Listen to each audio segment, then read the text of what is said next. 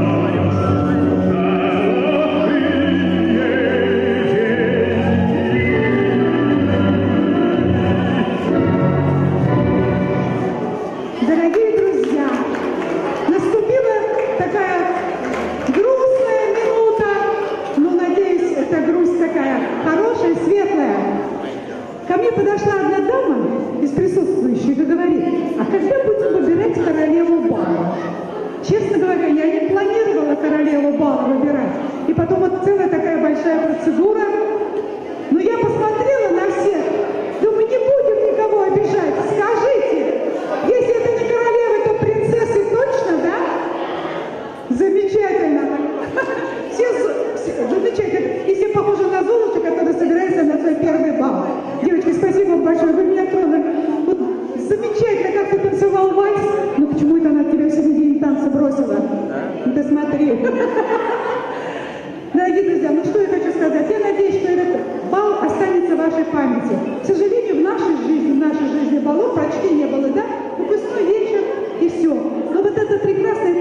Исторических балов, она возрождается у нас в России. А я думаю, что плохо жить без памяти. Надо из прошлого брать лучше и это возрождать. И исторические балы – одна из лучших традиций, которую мы будем беречь и будем ждать нового пополнения. Нас не будет, а вот эти девочки будут танцевать на балах, они будут подниматься в пышных платьях по высоким лестницам, освещенные люстрами, входить в зал и идти в полонезе. Девочки, я вам всего желаю самого-самого лучшего. И всем остальным. Друзья, а теперь все друг другу скажем спасибо.